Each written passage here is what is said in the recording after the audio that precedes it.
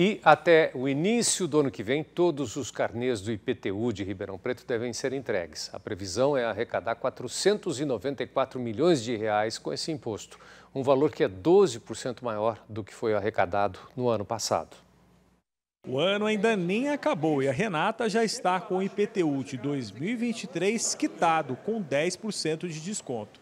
O pagamento antecipado faz parte do planejamento financeiro da consultora. Eu costumo, no, na virada do ano, eu já começo a guardar o dinheiro das contas fixas, como, por exemplo, o IPTU, o IPVA. Então, esse é um dinheiro que eu já deixo guardado e esqueço que ele existe. Aí, quando chega o carnê, eu já pago, me livro. A situação é diferente do Marco, que já está renegociando dívidas em atraso com a Prefeitura de Ribeirão Preto e vai optar por 12 parcelas. Pagar a primeira parcela porque não tem condições, né? Porque esse, esses tempos atrás já teve lá um, um questionamento de, de, pagar dívidas anteriores, né? Que eu já tive que correr porque ele já estava em cartório, né? Ou tira do cartório, então você fica com o nome sujo aí. E já entra nesse começo do ano com várias dívidas, né? Eu que sou motorista aplicativo, já tem PVA, né? o seguro do carro, tudo para se fazer. Então é sem condições de se pagar à vista, né? A previsão do poder público é arrecadar no ano que vem 494 milhões de reais com imposto territorial e predial urbano, valor 12% maior que em 2022 por causa da inflação dos últimos 12 meses e do crescimento da cidade. Para toda a população, o reajuste é de 6,46%, mas para algumas pessoas pode ter subido um pouco mais. Não houve revisão da planta do município. O que ocorreu foi a atualização inflacionária do valor venal, que pode ter feito imóveis ficarem fora das faixas de desconto. Ela vem sendo reajustado, o valor venal vem sendo reajustado pela inflação mas a planta genérica de valores não teve revisão alguma, assim como também não tiveram mudança nas alíquotas do IPTU. A inadimplência de IPTU em Ribeirão Preto está próxima de 20%. O índice esperado seria próximo de 5%. Isso faz com que a prefeitura tenha a receber dos munícipes cerca de 300 milhões de reais.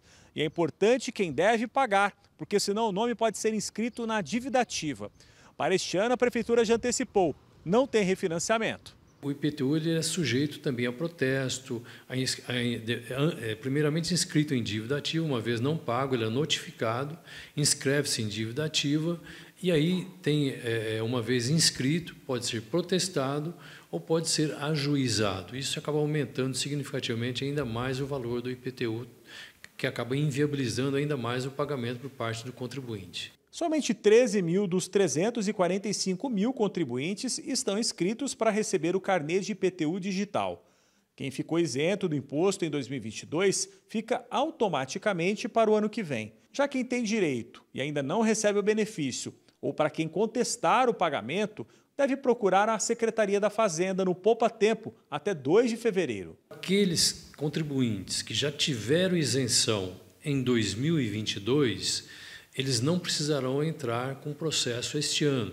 Eles já nem receberam o carnê e, no caso de dúvida, eles podem consultar o site da prefeitura, que é ribeirãopreto.sp.gov.br, e com o número do cadastro, ele consegue verificar se o imposto foi lançado ou não.